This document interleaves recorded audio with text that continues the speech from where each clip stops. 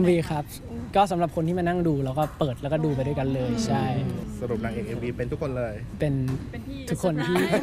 เป็นคนที่อยากจะเป็นครับพี่พี่ก็เป็นได้ก็ประชุมกันว่ายังไงเขาก็ไม่ยอมให้มีหนังอะก็ได้ งั้นให้เป็นพวกเขาเลยละกันใช่ด้วยความที่เรามีทัวร์แล้วเราได้ไปแบบได้ไปเจอแฟนคลับจริง ๆ อย่างเงี้ยครับ มันก็อย่างที่บอกไปว่าไม่เหนื่อยฮะคืองานเนี้ยครับ ก็อยากจะบอกว่าเราเราเราชื่นชมในผลงานของวงนี้อยู่แล้วแอลลี่โทรมาบอกว่าเนี่ยเหมือนได้โควต้ามา เราก็ไม่แน่ใจครับ เราก็เลยไปโดยไม่ได้คิดอะไรครับ ดราม่าที่เขาต่อว่าเราอะไร ก็ก็เฉยๆนะครับ เพราะว่ารู้ว่ามันมันมันต้องออกมาอธิบายอยู่แล้วครับเราก็เลยอยากจะบอกว่าหากทำใครเอ่อเข้าใจผิดหรือว่าไม่สบายใจก็ต้องขอโทษณที่นี้ด้วยครับนอยไหมอะเจอไม่ครับ เพราะพี่ๆน่ารักมากเลย ก็เข้าใจครับก็เลยออกมาอธิบาย